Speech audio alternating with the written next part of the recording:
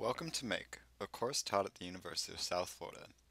I'm Christopher Alamang, a junior in the Electrical Engineering Department. In this video, we are going to talk about a few of the basic examples that come with the Arduino IDE.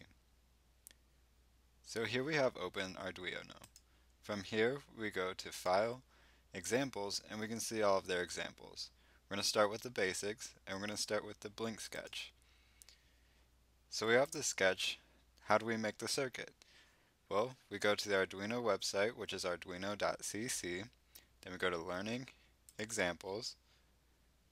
Then under Core Functions, we have Basics and Blink. Here you can see the circuit. It's comprised of an LED, some wires, and a resistor. So how do we make this? First we must look at a breadboard. Here we have a breadboard. On the left and right side are power rails. The left column with the blue are all connected together, and is usually your ground or negative. The right side is red and is usually your positive voltage. This is the same as the right side. In the middle we have two rows, or two columns, and a bunch of rows. Each row is connected like this. So now we'll begin wiring it. So here we have the breadboard and the Arduino with nothing connected. So where do we begin? Let's start with the ground. We add the ground wire to the Arduino and to the power rail of the breadboard. Now let's add the wire from pin 13 that will be used to power the LED.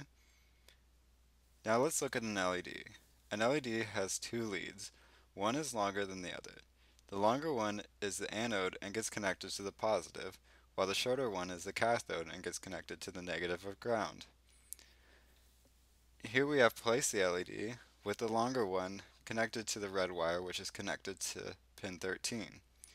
But we have to complete the circuit for it to work. To do that we add a resistor and the resistor gets added to the ground rail which com completes the circuit. Now we upload the sketch and you can see that the LED is blinking. Now let's analyze the sketch a little bit.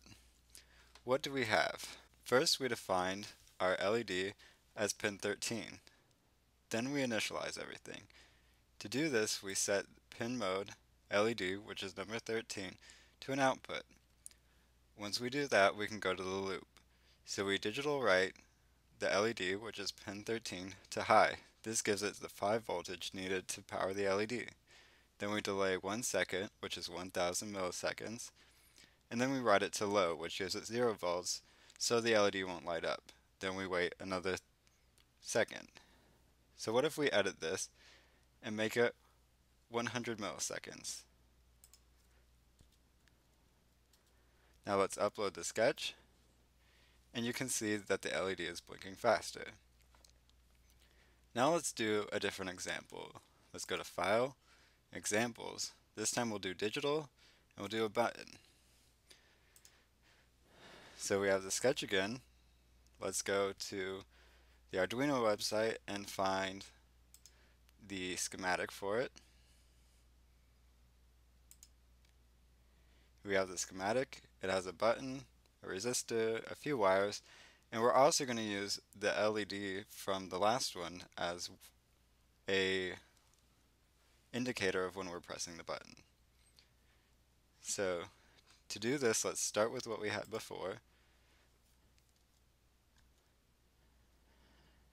And let's first add the button. So we plug the button in across the middle rail.